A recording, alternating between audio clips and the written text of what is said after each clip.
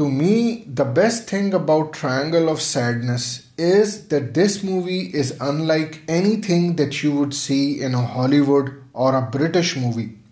The way it is made, like camera angle techniques, style of comedy written, and direction, etc., are all very unique, and that is exactly what is so refreshing about it.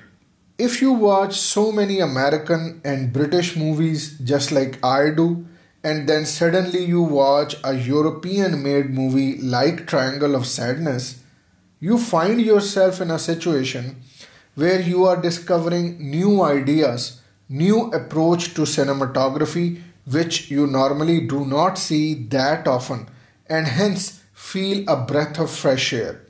Triangle of Sadness to me is a breath of fresh air. The comedy done in this movie, how can I describe it?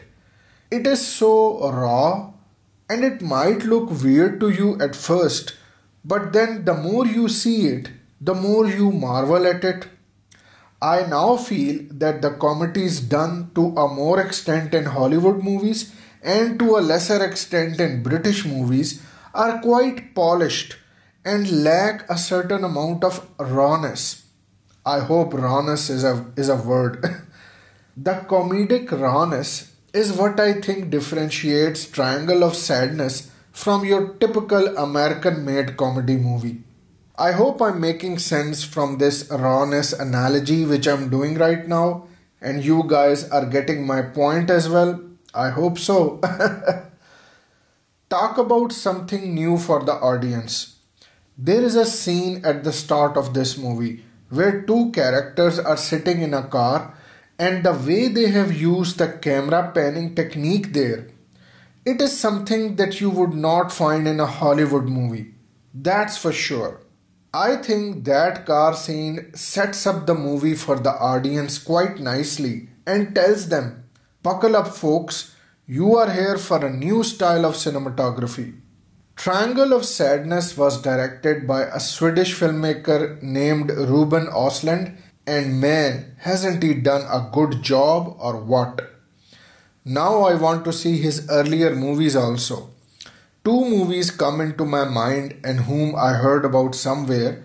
One is Force Majeure, released in 2014, and the other, The Square, released in 2017. Man, I gotta watch those movies ASAP. I'll order those on Blu ray. I also think that the acting of Harris Dickinson in this movie deserves a mention. He has played his role remarkably well. Other cast members of this movie have also done a good job, I believe.